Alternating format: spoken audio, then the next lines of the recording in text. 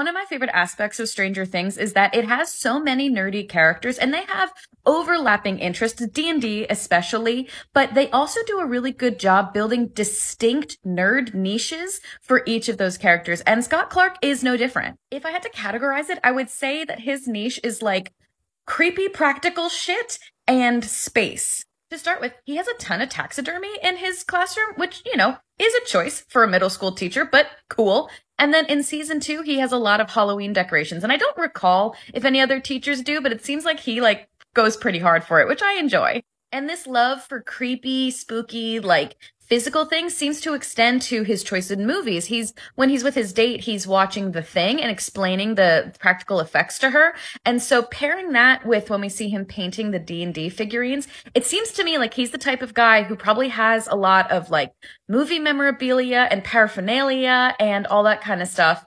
And I, I think that's a really fun, specific type of nerd to be. Another example of his sort of interest in like these like bits and pieces, how things work, how things work together things is he has a Rube Goldberg machine in his classroom, which I really love Rube Goldberg machines. So that was super fun to see. And then the other big presence in his classroom and actually in his house as well is space stuff. In his house, he has a huge telescope and a bunch of books on like galaxies and space stuff. And then in his classroom, he has this huge display of up to date space news and little posters for like things that NASA is doing. On this bulletin board, which you can see in season two, it's celebrating the first American woman in space, Kathy Sullivan, and it's anticipating the Challenger launch, which originally was supposed to be in July of 85. My friend and I actually had canon that he was shortlisted for the Teacher in Space program. And then since all of that went down January of 86, in March of 86, he was maybe still taking a leave of absence to kind of like process things. But that's more our way of processing the fact that he wasn't in season four because we really missed him. And on that note, because I love the role that he plays with the main group every season, except this one,